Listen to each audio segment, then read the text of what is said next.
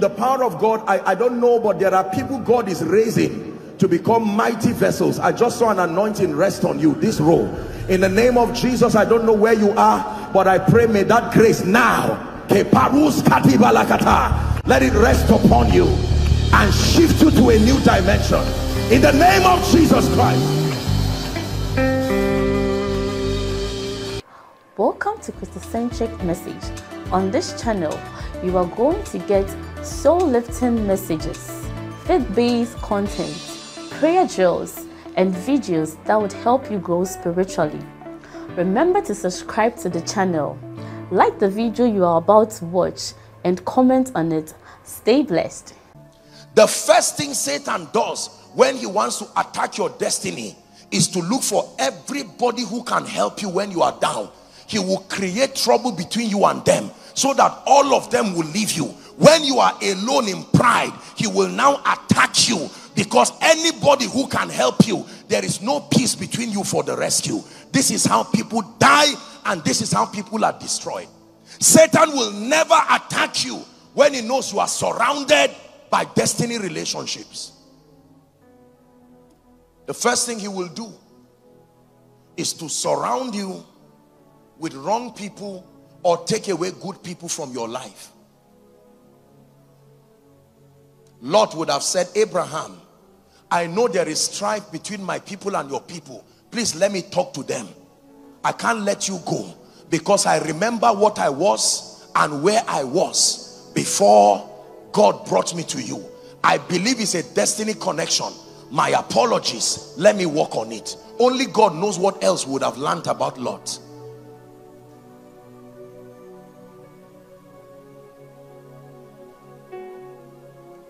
Destiny relationships.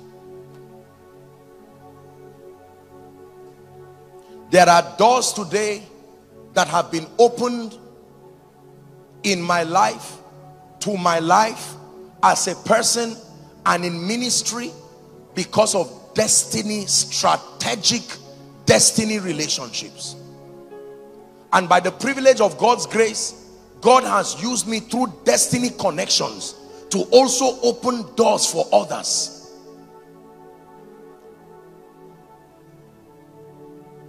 Many of you here respectfully are about to get crash your life because you don't have value for anybody. You have a narrative in your life. I don't need anybody.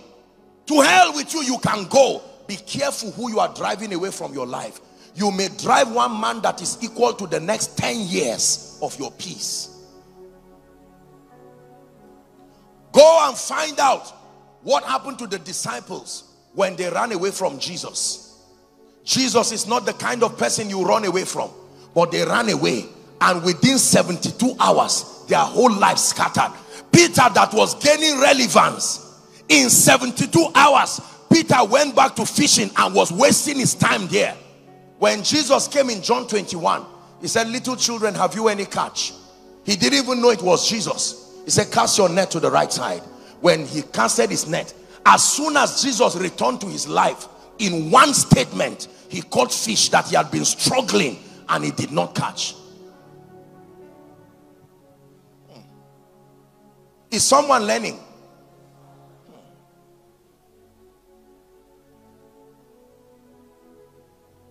Before I continue, please lay your hand on your head and say, Lord, give me the discernment to know the relationships that my destiny depend on.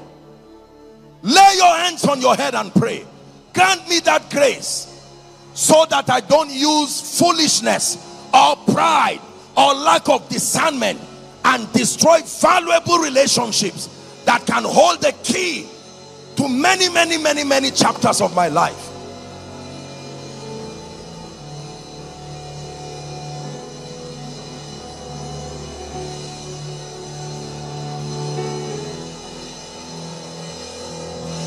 Shebakatos kalibrandege de bosh. Kragate belekatos kotofrendege de belekosia. Hallelujah. Hallelujah.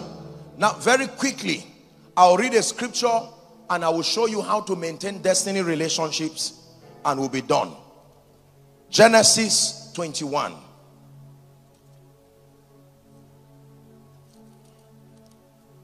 For someone, when your life changes and people ask you, you will tell them, I came for this student congress and I found something. I found a key. Hallelujah. Now, for sake of time, I will save you a lot of details. Genesis 21. Let's start from verse 8. This was a story between Abraham and his wife Sarah and a maid called Hagar, the mother of Ishmael. Please follow very carefully. Let's start from verse 8. Now, speaking about, remember when Sarah could not bear a child. Are we together now? Abraham now had a child with Hagar, and the Bible says something that Hagar was Sarah's maid. But the moment she had a child, and she saw that she was now in a position of advantage. Something began to happen. She started mocking and acting funny towards sarah. And in anger sarah banished her and said go. Abraham said you can do with her whatever you want. So this is a story you are about to learn. Verse 8 very quickly. And the child grew and was weaned and abraham made a feast the same day that isaac was weaned. Uh-huh. And sarah saw the son of Hagar, the Egyptian. Now God had given her her own, which was born unto Abraham. He said, Wherefore she said unto Abraham, verse 10, Cast out this bondwoman and her son, for the son of the bondwoman shall not be heir with my son, even with Isaac. Verse 11, and the thing was very grievous in Abraham's sight because of his son. Now, watch this. And God said to Abraham, let not it be grievous in your sight because of the lad and because of the bondwoman. In all that Sarah had said unto thee, hearken to her voice, for Isaac shall be thy seed, shall thy seed be called. For in Isaac shall thy seed be called. He says, and also the son of the bondwoman, I will make a nation because he is thy seed. And Abraham rose up early in the morning. Watch this now. And took bread and a bottle of water and gave it unto Hagar, putting it on her shoulder and the child. Uh-huh. And sent her away. And she departed and did what? Wandered in the wilderness. She came to that house as a maid. By reason of all that happened, regardless what happened, God lifted her and sorted her. Now she's separated and wandered around the wilderness, even to Beersheba. Next verse. The Bible says, and when the water was spent in the bottle, and she cast the child under one of the shrubs, uh-huh, and she went and sat her down over against him a good way off as it were a bow shot for she said let me not see the death of the child. And she sat over against him and lift up her voice and wept. Now the lesson begins. And god heard the voice of the lad and the angel of god called to hagar out of heaven and said what aileth thee hagar? Fear not for god has heard the voice of the lad where he is. Now watch this. He said, arise, lift up the lad and hold him in thy hand for I will make him a great nation. Verse 19. And God opened her eyes and she saw a well of water and she went and filled the bottle with water and gave the lad drink. Next verse. And the Bible says, and God was with the lad and he grew and dwelt in the wilderness and he became an archer. And he dwelt in all of that and all of that. Now when you read that scripture let me tell you what i'm trying to pull out. The bible said something very instructive that both hagar and the baby two of them were crying. But the bible says when god had he had only the voice of the baby. The bible never said he had the voice of Sarah, of um, Hagar. How come she was crying and the baby was crying? And only the voice of one child went to heaven. You know why?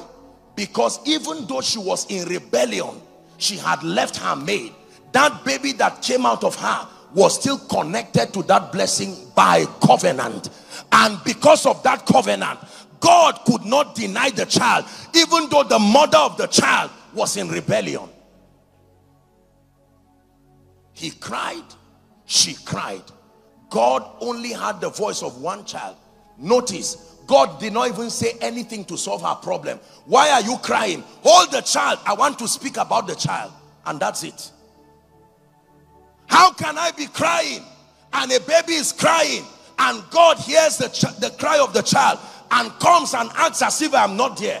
Gave her water and now focus on speaking about the child because he was connected to Abraham. This is very powerful. Write this down, please. How to build lasting destiny relationships. I'll only give you two keys. How do I build lasting destiny relationships? Number one, I wrote here, usually God uses the various phases and stages of your life. He uses geographic locations. He uses church and other occasions to connect you to these relationships. That means destiny relationships happen in our lives primarily by taking advantage of the phases and the stages in your life. For instance, school now. Within that three, four, five, six year period of school, there are certain people that God will bring in your life and among them there will be destiny relationships. God can also use your geographic location where you are domiciled. God can use your church.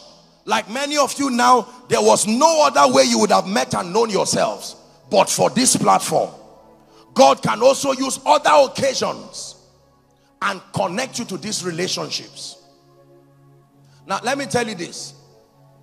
When you want to build destiny relationships, I wrote here, you must be driven, you must all be driven by similar foundational values about God and about life. It's impossible to build strategic destiny relationships until you are driven by similar values about God and about life. The Bible says in Amos chapter 3 and verse 3, can two walk together except they be agreed? The word agreed there means compatible, similar in the foundational understandings that they have.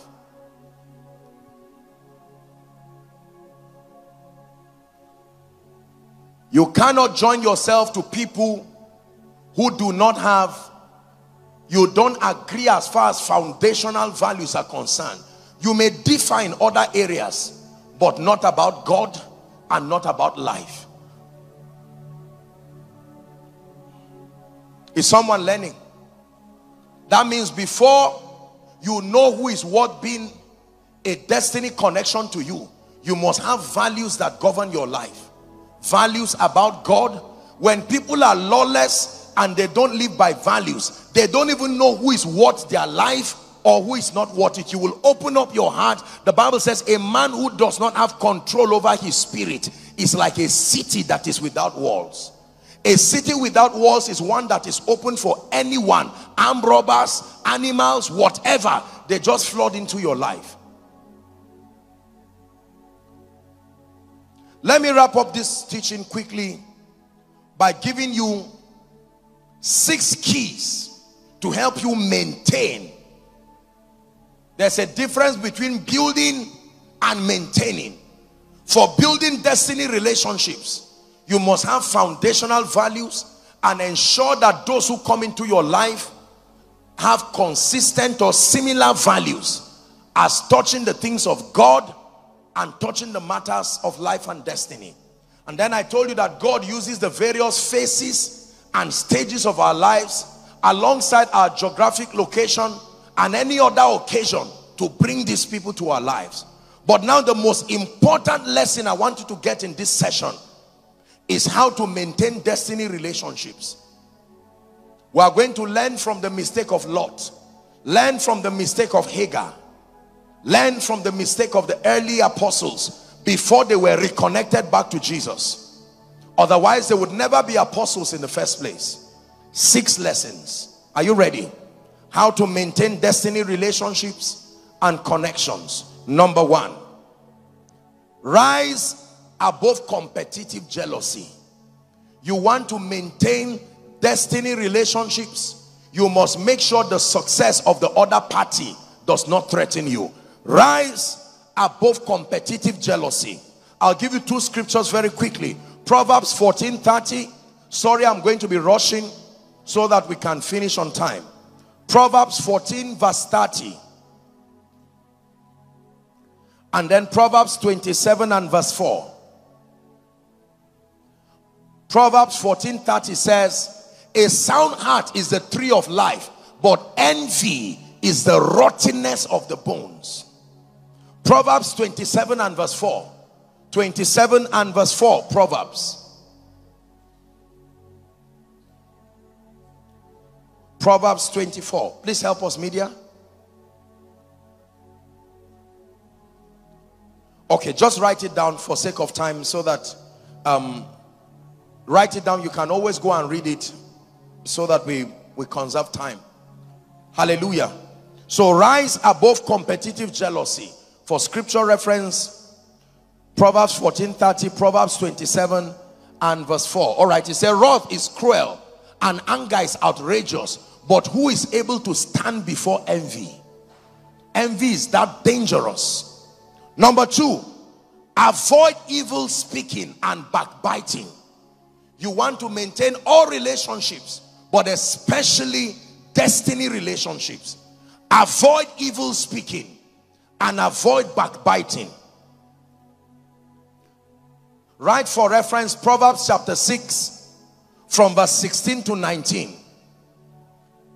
The Bible talks about six things that the Lord hates. A heart that devises evil, one that sows the seed of discord. All of these things God hates. Proverbs 6, 16 to 19. Another scripture. Romans 16 and verse 17. Romans 16 and verse 17. Romans 16 and verse 17.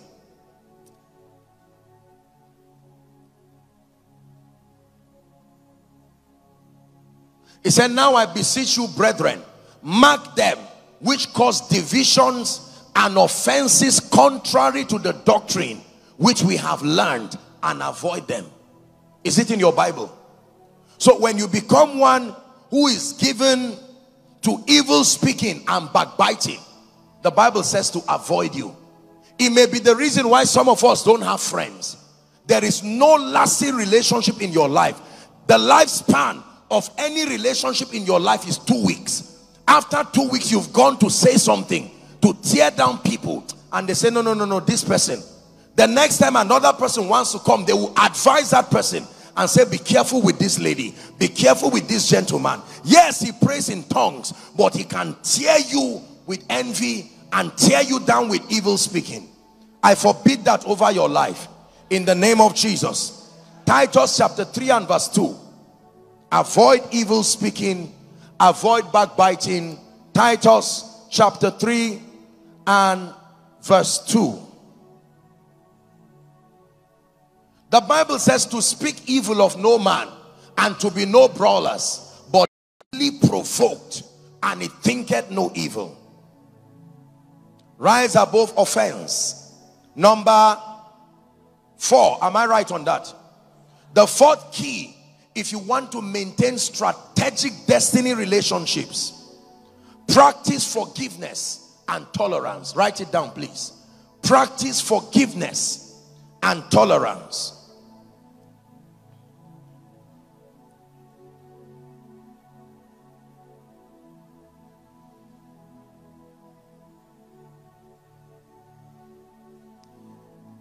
A man and his wife one time were quarreling.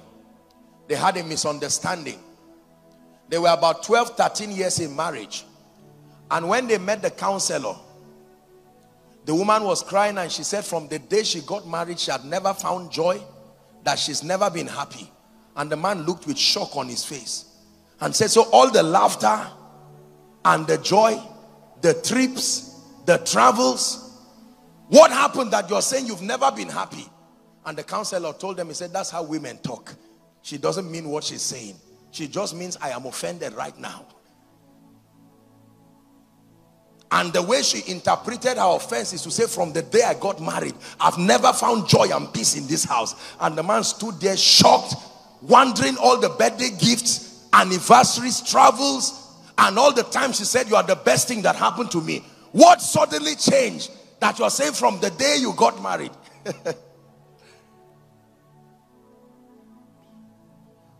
I said that to teach you the difference between forgiveness and tolerance. Let me teach you the difference between forgiveness and tolerance.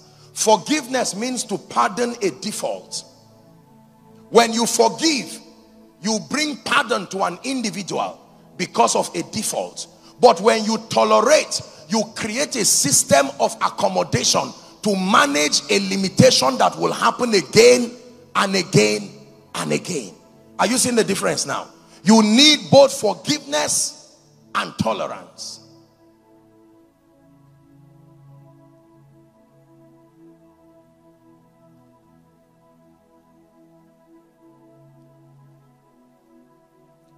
Remember how many times we go to God and say, Lord, just bless me and I will never disturb you again.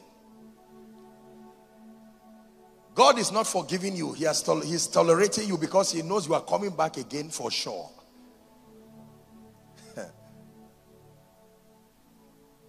Look at me.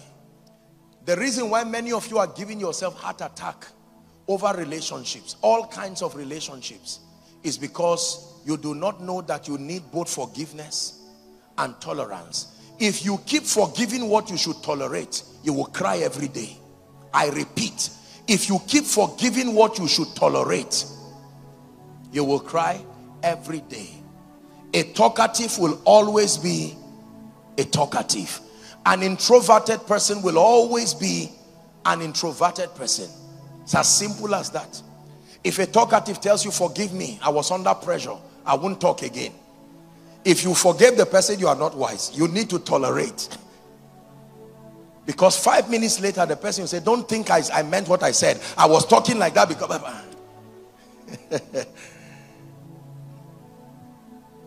Practice forgiveness and tolerance. Are you seeing now that the person you are sitting close to, some of you, you need to forgive them. For others, you need to tolerate them. Let me give you two scriptures. Mark 11 and verse 25. Mark 11 and verse 25. Then I'll give you Colossians chapter 3 from verse 12 and 13. The Bible says, and when ye stand praying, forgive. If ye have aught against any, that your Father also which is in heaven will forgive your trespasses. You must learn to forgive. Colossians chapter 3 from verse 12 and 13. Colossians 3, 12 and 13. The Bible says, put on therefore as the elect of God, bowels of mercy, kindness, humbleness of mind, meekness, long suffering. Next verse. Forbearing one another. That's the word there. Forbearing one another and forgiving one another. You see, they are not the same. If any man have a quarrel against any, even as Christ forgave you, so also do ye. It's very, very important. You must learn forgiveness and you must learn tolerance. Let me give you the remaining two. Number, is that five? What is the fifth key to maintaining strategic destiny relationships? Write this down. You must be an active contributor to the growth of the other party or the parties involved you must be an active contributor to the growth of the other party or the parties involved. You must be an active contributor to the growth of the other party or the parties involved.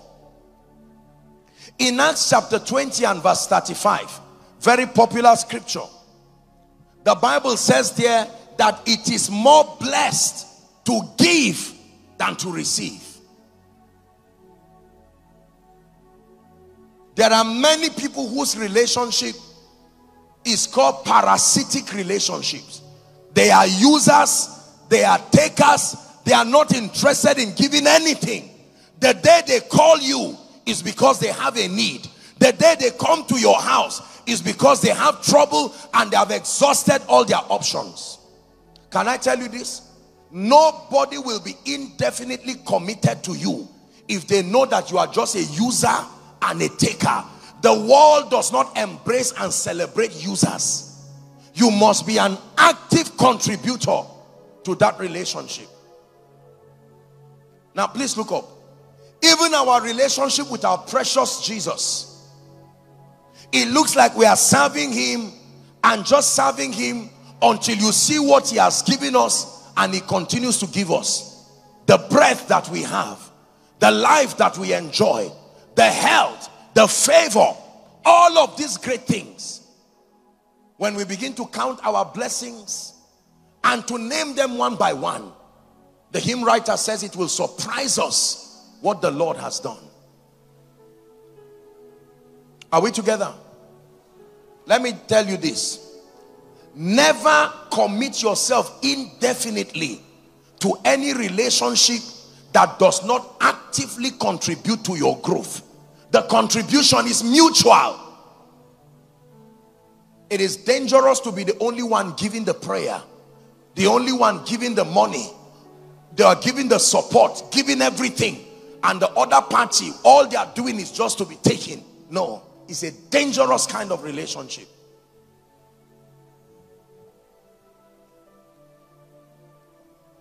I used to have these interesting people because by the privilege of God's grace, I try and do my best to be there for as many people. Um, and there are all these people who is when they need help, you just get a text. Calvary greetings, apostle. In the name of Jesus Christ.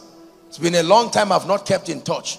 That text is following the real text coming now. Then he says, sorry, just to let you know that in my rent, we have come again. I hope you are not angry. For one year, they don't care how you are, whether you woke up, whether you cried, whether you laughed. That's none of their business. The moment there is a need, here they come again. There are some of you, you are like that as you are looking at me. Even your biological parents, you don't send them a text to say, God bless you. But when there is a need, when you have a bad dream, something is pursuing you, you are coming from your village. All of a sudden, you call somebody and say, Sorry, um, it's been a while. Did you say you have a conference somewhere? Can I tell you this? Nobody becomes indefinitely committed to you if you don't pay attention to people. Relationships are investments. It's fraud to want a return over an investment you did not make.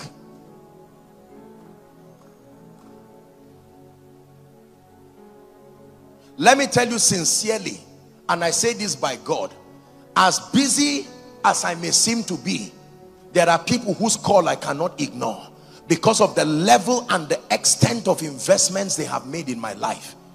There are people today when I call, no matter what they are doing, they will stop and pay attention to it because of the level of investment I've made in their lives. Now, let me tell you the mistake with our world. Don't want to sit in a position of intimacy over a relationship you did not invest in. They met Jesus and the mother of James and John said, can you grant that my sons will sit at your left and right? Jesus said, the space is available, but there is a condition. Can you drink of my cup and be baptized with my baptism? There are people today, even if I wake them by 2 a.m. and I tell them, listen, I'm stranded at the road they will get up and drive to come and pick me. Not because I'm a man of God. Let me assure you, every relationship does not hold the same value. There are relationships that many, there are people who can give up anything for certain relationships. I've had the honor and the privilege of meeting many of our fathers of faith, I am amazed that as busy as they are, there are strategic relationships that regardless their schedules, they will invest in with joy and with honor. Don't expect me to give you the same attention with someone who thinks I am valuable to him or her. It can't be the same way. We're wrapping up. Let me have two people. I want to teach you something powerful. God bless you, my friend. You stand here. Just stand, turn, face crowd. My friend, stand here. Now, watch this. If this gentleman cares about me so much, are we together now? That every time I meet him, maybe he's holding a bottle of water and saying, Apostle, take. You may need this to quench your thirst. And every time he's saying, How are you? How is your health? How is your body? Everything that involves my life is interested in it. You cannot expect me to be committed to this man the same way I will be committed to someone who maybe one day only when he has a need and he will send a text and say, Apostle, bless you. Can you speak over my life? Today is my birthday. I will speak God bless you. God add years and wisdom and life to your years in Jesus' name. Amen. But for this man, if he tells me, Apostle, I have headache, I will buy him a pharmacy, not a drug. Is, is someone getting it now? Why? Because he has placed value on my life and my destiny. I can see how my life has advanced because of his contribution. I will not ignore him. Please hear me. Next time you see men of God or your lecturers, pay attention to certain people within the boundaries of purity. Now, I'm teaching you this.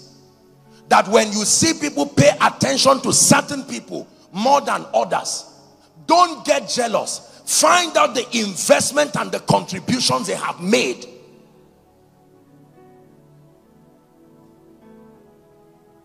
When I was thirsty, you didn't bring me water to drink. There are people today, I have blessed them generally. I have not made any significant personal investment in their lives. I would be stupid to expect them to give me such attention. I can't demand that because I've not made the requisite level of investment.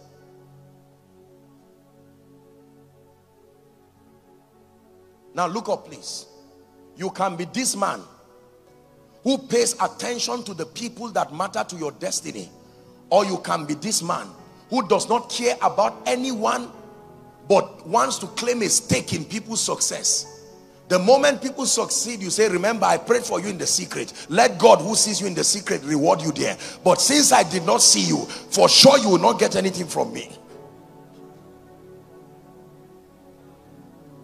Is someone learning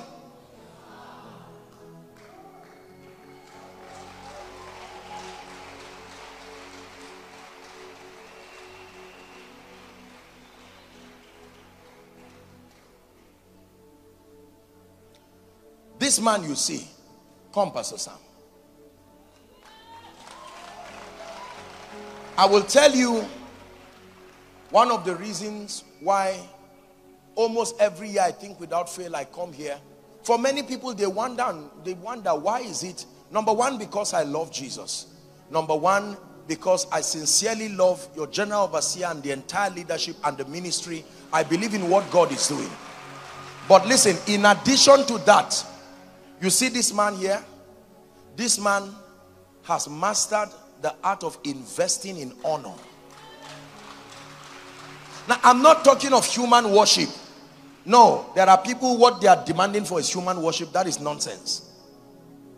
You see that? Every time you show people that you place value on them, there are people who have come for me to pray for them. I just laid hands and said, God bless you. Even me, I know nothing left me to them. I just wanted them to give me chance to enter the car so I can go. Because the attitude they came with, I know that no matter how I pray, nothing will leave me to them. And I'm not talking of kneeling down. you can kneel down and still be standing. Could it be that this is why some of you have not received from the grace that is upon this vision and upon this ministry? Because everybody is the same to you. It doesn't matter which speaker comes to preach. You just look at them. You can see old people like our parents here come to talk to you and you look at you are just laughing. Let me edit what they are saying. I'm not sure they know what they are saying. And it's not like you have any results. Most people who don't have results are the ones who sit down to assess the works of people who are producing results. When I stand before great people, I stand like a sponge with my heart open to receive. Yes, I'm a Berean, but I humble myself to listen and to learn. We are going to pray. You can be this man, ready to discern the relationships that are very important and strategic. You can be this man, ready to trivialize everybody, including Jesus Christ what is there? He's the King of Kings. Did I ask him to die? He said, enough. I've given my life to him. If he can't make the, there are other people. There are people like that. Nothing is ever worth your attention in life. I want you to learn a lesson from this your leader. Learn a lesson from him. Humility and honor does not reduce you. In fact, it multiplies you. I'm saying this because may God have mercy on us so that we don't become a very proud generation that that that that tries to show glamour over nothing. It is said that the empty gong makes the loudest noise. You know great people by their humility to honor the investment of God over others and their willingness to learn and to receive. This may be a hard teaching, but you will thank me for it. And you will thank your leaders for it. You will go back to your various stations and the difference will be clear between you and other people. In one week, you will see that strategic people have gravitated towards your life and your life begins to move from one level to the other. Hallelujah. God bless you, sir. Please all rise. Let's rise up.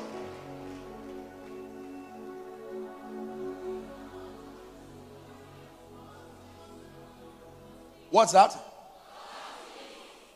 So you're following. Number six. What is the sixth key to maintaining destiny relationships?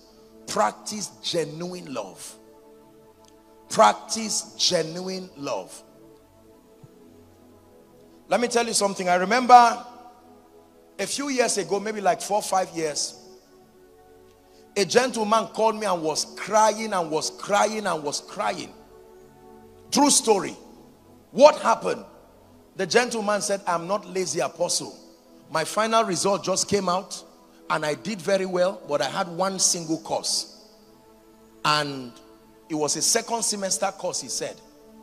And where will I get the money? Me that I was happy that at least I would rest you know, I, my mother has been waiting to just hear that my final result. And he cried and cried. And he said, well, he did not even call me to pray for him, maybe for a waiver or whatever it is. He just said, please, I should pray for him that God will help the mother understand. And then number two, that God will open doors of favor. But he said he believed that he did that exam well. And I said, really? So, true story. I asked the person, I said, which school is that? Which university? And he mentioned the name. I said, which faculty? When he mentioned the name, I said, are you a serious student? He said, yes. This and that and that. And I told him, I said, all right, may God bless you. Whatever happens, call me. True story. Little did the gentleman know that I had prayed for someone in their faculty not too long. And I called the person. I said, please, I searched for the text the man sent to me to thank me. And when I found it, I said, please, sir, I know you respect God and you respect me. There is something I want to ask you for. Sir, ah, my apostle, what is it? And I said, there is this gentleman who called me. So, so, so, so, so, and so is the name. And the man asked a few questions. And I told him, I said, there is a course. Please. I'm not saying you people should go and compromise on standards. But maybe you may need to look into this for this gentleman. He cried and I truly understand his situation. And the man kept quiet. True story. He kept quiet for about a few seconds. And he said, hmm. He said, it is well. He said, no problem. I'll get back to you. About three or four days later, I received a text around 2 a.m. This guy saying he can't believe it. God is a miracle worker. God is a this. God can wipe the tears of people. That can I imagine? Uh, they, I think they gave their, them permission and said if it is a departmental course or something like that, they can waive it. And that they called him and the person told him that he will not tell him who said this, but they should pray. And the person was saying, Apostle, I don't know who God. And I kept quiet. When he finished, I told him, I said, make sure when God lifts you, you do the same for others. And the gentleman went.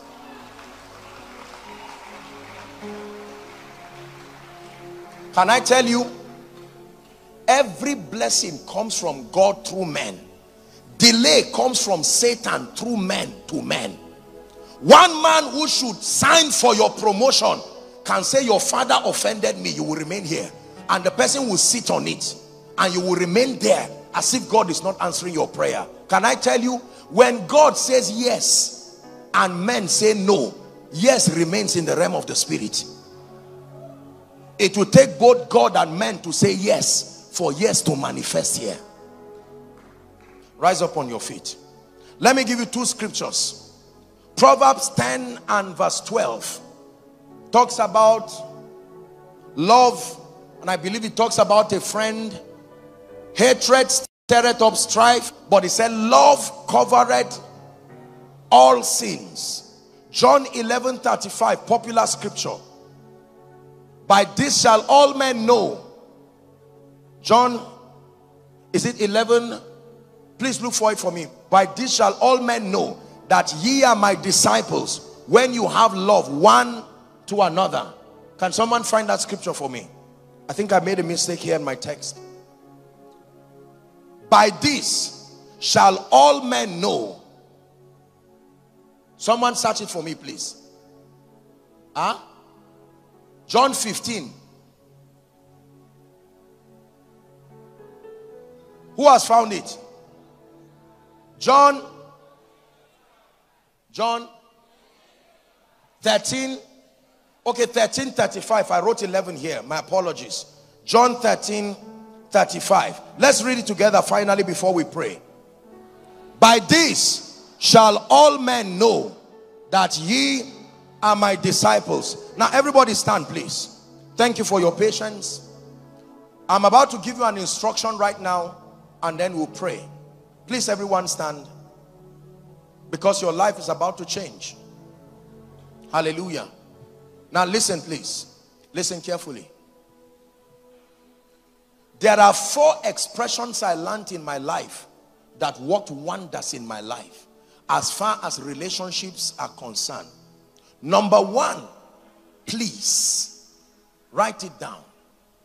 That word, please, is a miracle word. It can open doors for you, even if it's demons that close the door. Please is a statement that shows that you have value on people and you show courtesy. Please. Number two, I am sorry.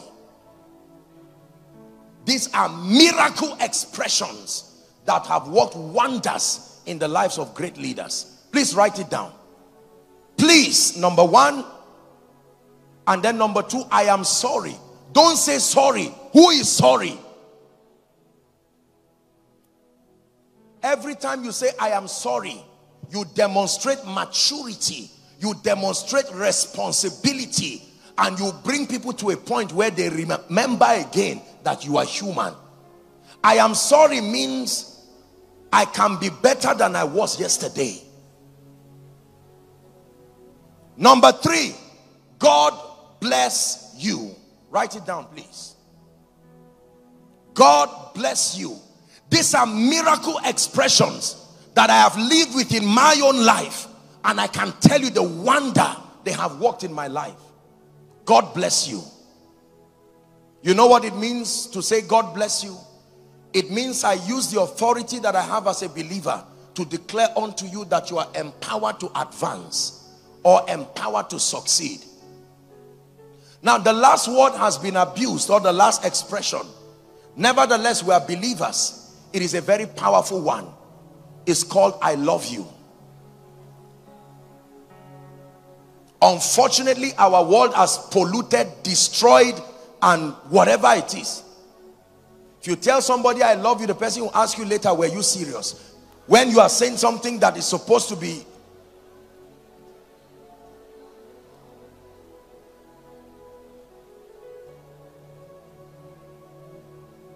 I won't ask you to use that one now. but for the purpose of this discussion, the first three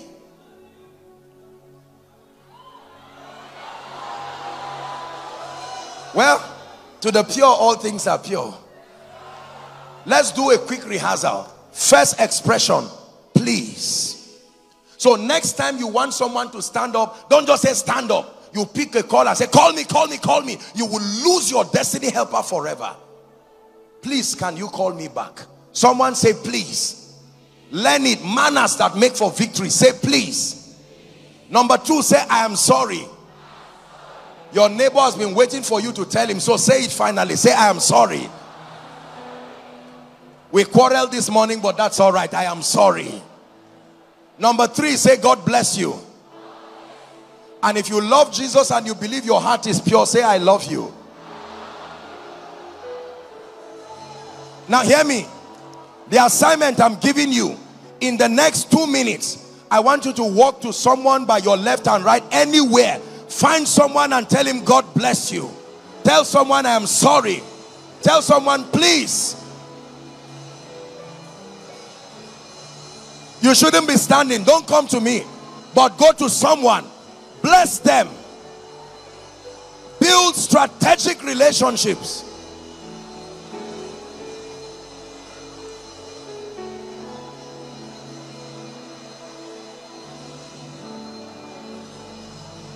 I'm counting down now. 10, 9. By one, you should be back to your seat. 8.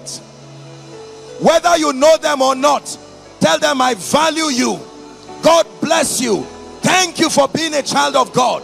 Regardless our differences, I decree and declare that you are a child of God. I place value on you. Any day you see me, know that this is one who loves you sincerely.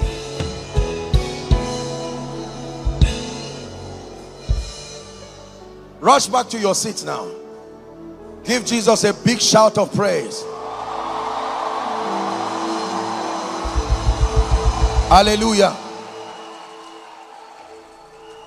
Hold your hands together. I'm wrapping up. Thank you for your patience. I need you. You need me. We're all a part of God's body. Stand with me agree with me. We're all a part of God's body. It is His will that every need be supplied. You are important to me. I need you to survive. I pray for you you pray for me. I love you. I need you to survive. I won't harm you with words from my mouth. I love you. I need you to lift your hands together. It is His will that every need be supplied. You are important to me. I need you to survive.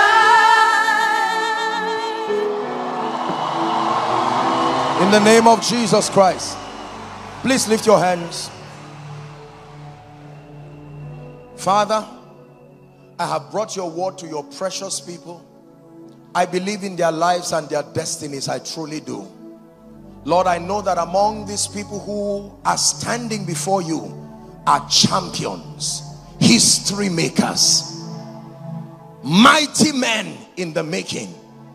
I have taught them, oh God, on the power and the value of destiny relationships. My prayer for you, therefore, is that my God, who is also your God, will bring destiny relationships to your life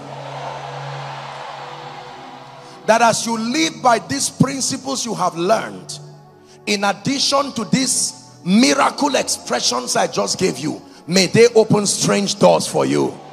May they move you forward in the name of Jesus. For in Jesus name I pray.